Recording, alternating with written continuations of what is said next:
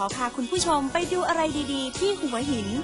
เริ่มจากไปไหว้หลวงพ่อทวด องค์ใหญ่ที่สุดในโลก ที่วัดห้วยมงคล จังหวัดประจวบคีรีขันธ์กันก่อนเลยค่ะ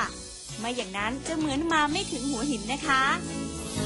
ด้วยความใหญ่มหึมา หน้าตักกว้าง 9.9 เมตร สูง 11.5 เมตร บนฐานสูง 3 ชั้น ชั้นล่างกว้าง 70 เมตร ยาว 70 เมตร พุทธศาสนิกชนจึงนิยมเดินทางมานมัสการหลวงพ่อทวด เพื่อความเป็นสิริมงคลก่อนเดินทางไกล หรือว่าในยามที่แวะเวียนมาเที่ยวหัวหินค่ะ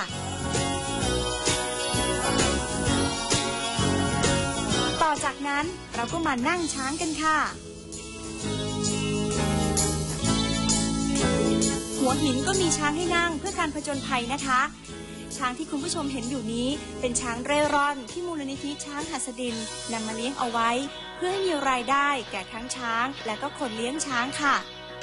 บนเนื้อที่กว่า 500 ไร่ จึงสรรสร้างกิจกรรมหลากหลาย เช่น การท่องเที่ยว การแสดง โรงพยาบาลช้าง หรือแม้แต่กิจกรรมเพื่อคุณภาพสิ่งแวดล้อมต่างๆคราวนี้เราไปแวะชายหาดที่สวยสดงดงามแห่งหนึ่งของอ่าวไทยกันค่ะ ก็ชายหาดหัวหินนะสิคะ นอกจากชื่อของชายหาดหัวหินแล้ว ก็ยังเป็นชื่อของอำเภอด้วยนะคะ ถือว่าเป็นแหล่งท่องเที่ยวที่ขึ้นชื่อลือชาของทั้งชาวไทยและก็ชาวต่างชาติทีเดียวค่ะ หัวหินก็ยังมีอะไรดีๆ อีกนะคะ ที่มูลนิธิการศึกษาทางไกลผ่านดาวเทียม เขาก็มีการถ่ายทอดสดการเรียนการสอน ให้แก่ระดับชั้นมัธยมศึกษา และความรู้เสริมสำหรับบุคคลทั่วไป จากสถานีแม่ข่ายภายในโรงเรียนวังไกลกังวลหัวหินค่ะ